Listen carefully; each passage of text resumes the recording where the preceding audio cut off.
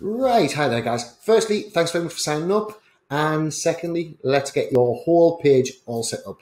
Right, so first things first, this will actually work on groups if you've upgraded, and it'll also work on fan pages. So set the fan page within Facebook, you just go to facebook.com and then you would click on add page.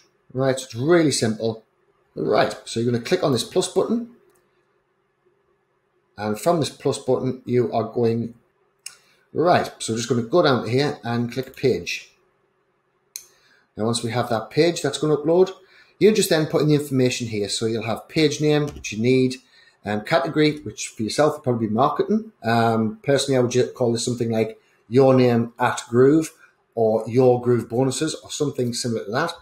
And once you've got all that done, um, then all you're going to do is you're going to go down here it's going to ask you to add a button once you've filled it all out. You're going to add that button and the button's going to be send message. All right. So once you've got all that set up, what you're then going to do is you're going to go into your Chatammo account, which you would have received your passwords, um, which password will be one, two, three, four, five, six. Please change your password um, and your email address that you registered with. And once you have those two together, I want you to go down into Chatammo, which is chatammo.net, and click on import accounts. Now from import accounts, you're going to log in with Facebook and you're going to see your accounts all going to pop down here and they're going to have this plug shape right there. Now all you're going to do is you're going to click that plug shape and that is going to connect your page straight away to the chatbot. It is that simple. Right now, after that, there will be a little um, thing, a little, well, it'll be called a JSON file underneath here.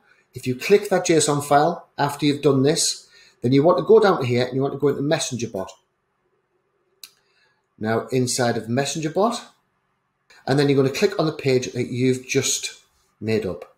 Right, so once you click on that particular page, you're then going to go into options and you're going to import bot settings. Right now, the import bot settings actually going to give you the full template that is down below. Now, on the template, the only thing that you need to change is basically your affiliate link. Um, if you're given a different lead magnet than the one I've already given you, you need to change that. And you might want to add in um, some collecting their email, names and emails. Personally, I wouldn't, as I would try and do a low point of entry. So you want it all say plain sailing, um, so it can go straight into your Groove account and get a free Groove account. Now, if you've upgraded, the follow-ups should also be there, the sequencing, which is most important because the sequencing are going to get you a lot more sales. What it does is 23 hours time. It's then going to remind the person, did you get the free account? If they did, awesome. We're then going to show them the paid account and tell them that it's going to be going up in price, which we know it is.